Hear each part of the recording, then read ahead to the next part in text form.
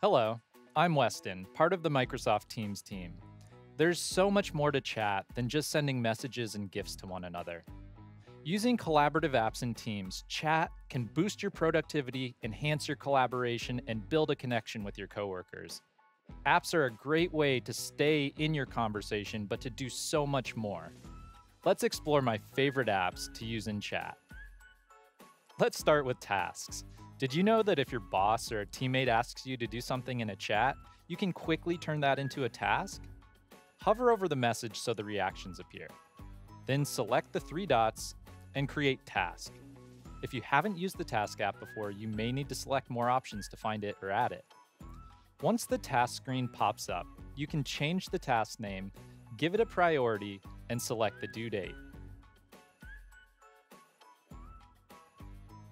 You can also update the notes section if you want. Then, finally, select Create Task, and it will save right to your tasks list in the app. The next app you should try using in chat is Approvals. When you need someone to review and approve a blog post, other content, or maybe a purchase order, you can simply select the approvals icon or select the three dots to find the app.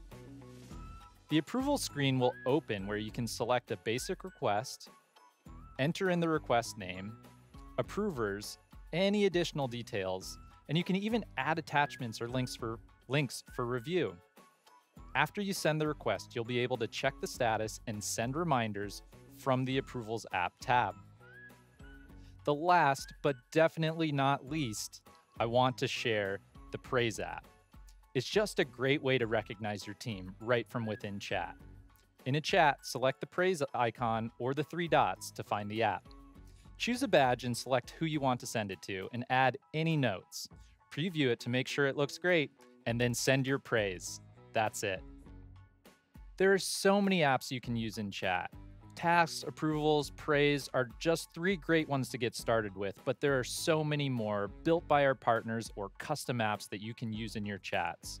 For more Teams tips, how to's, and inspiration for all you can do in Teams, subscribe today.